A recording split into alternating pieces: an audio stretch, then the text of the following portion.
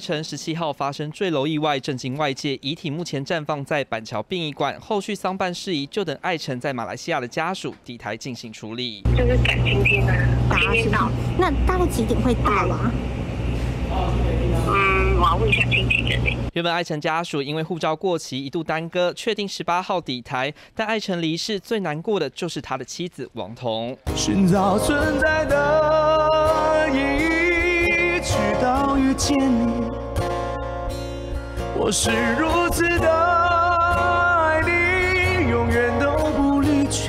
把对王彤的感情写进歌词，这是他们两周年纪念写下的情歌《我在这里》。但写好这首歌才经过短短两周，创作者却已经不在，圈内好友也纷纷发文哀悼。曹希平也感慨向艾辰喊话：“你不是答应我说会好好照顾王彤吗？”另外，与他一样来自超偶选秀节目出身的金曲歌后艾怡良也感伤喊话：“想必你也辛苦了很长一段时间吧，现在可以好好休息了。”另外，艺人好友小甜甜也透过 IG 现实动态发文，惊呼：“怎么会？”是你接获消息当下相当震惊，黑底白字写下：每次带给我们欢乐、充满正能量的爱晨，怎么会发生这种事？提到自己现在心情还是无比复杂、痛心。亲友们唯一能做的事，就是把过去和爱晨的开心回忆深深烙印脑海中。三一新闻谢文祥、肖邦明台北采访报道。